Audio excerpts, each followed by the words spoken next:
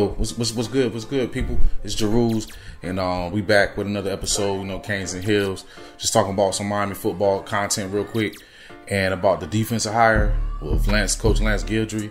Uh, hope I didn't butcher his name. I feel like this is a good hire. I feel like just watching some of his defenses, dude's defense is pretty much the future of how defense is being played with a lot of quarter man coverages and um, really taking advantage of using like hybrid type players. And if you know what I mean by hybrid, you know, it might be a hybrid of a corner slash safety or a safety slash linebacker or defensive end slash safety, you know. And I feel like that's where the game is moving to. Almost like once you get past that that front line, like that middle of the defense is pretty much can be all hybrids. If you can have your whole back end a number of hybrids, guys that can tackle and cover with speed, yo, you can pretty much be able to stop the run when you need to and and defend the pass. And that's pretty much what it is. You know, people want to defend the pass, but you will get pounded out if you ain't got the, the right personnel on the field. And um, I feel like that's what Coach uh, Guidry is about to do. And he probably looked at the defense and seen nothing but hybrids on Miami's uh, team, man. On, on, on the defensive side of the ball for Miami, it's nothing but hybrids. Nothing but hybrids. I mean, you can go from like guys like Jaden Wayne, uh, the new kid that they just the new kid that they got from VA. He's a linebacker slash safety. I feel like he really about to eat. You know, he really about to eat. Kam gonna eat. Uh, James gonna eat. He's a hybrid.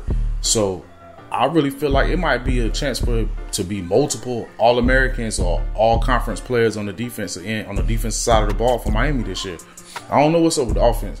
This video is strictly about the defense and hybrids. So with that being said, I really do feel like for Miami, on defensive side of the ball, them boys gonna eat. The Saint, he gonna eat. Um, uh, Washington, he gonna eat. He a yo, dude's mad fast and he a linebacker. He gonna eat. So it's gonna be hard to scheme scheme against him. Um, and then Lance, he Lance come from a, a, a, school where his his prior stop was at Marshall. So you know, of course, he had to scheme things up with guys that was less talented. I mean, I don't hate using the word less talented, but you know, it's like the blue chip ratio. Miami got Miami got players on paper. You know how they was rated. They got they got players. So Lance gonna be able to come in there. He can be like a kid in a candy store.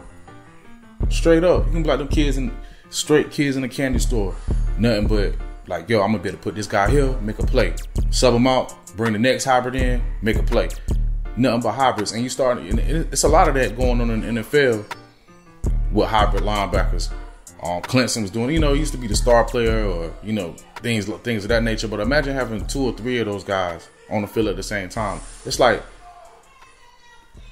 James James James Williams, yo, he gonna show out this year.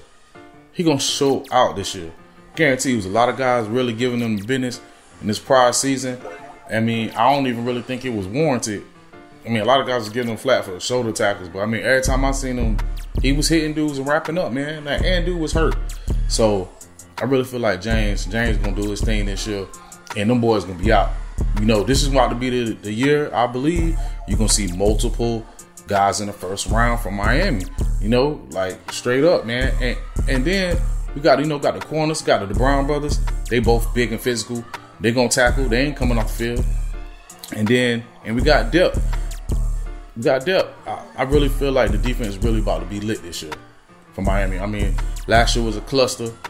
You know, Charlie Strong and Kevin Steele. Um, I just didn't. I don't really think they utilized their personnel. I mean, that's just my my personal opinion. I mean, I ain't no coach.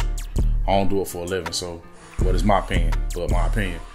With that being said, I'm very excited to see how these hybrids work out, man. It's gonna. It's a. They got a lot of hybrids, man. A lot of them, man. Son has been sitting in the cut. Moss, he been in the cut. He, yo, he about to, he about to eat. They about to eat. Najee gonna eat. Uh, Bang gonna eat. Yo, I'm really thinking Miami should have like one of the top defenses in the ACC. Off off the rip. All they got to do is figure out the offensive side of the ball. All, all they got to do is figure it out. Mario, can you figure it out? somebody figure it out. But um, yeah, man, let me know what you think about this whole hybrid situation and what hybrids that I might have missed. And um, I feel like it's just almost like basketball was almost like a positionless league hybrids, man. Let me let me know what y'all think. Drop a uh, drop drop some comments. You know, subscribe and uh, like the page, man. And uh, I'm really just getting started with this thing, and I really appreciate any support that y'all give me. And I'm, I'm gonna keep busting out content and giving my opinion and and things of that nature. Um, I just dropped a thing on Carolina. You know, Carolina won yesterday, but it's about Miami football. Blah blah blah blah blah. But uh, yeah, get at your boy.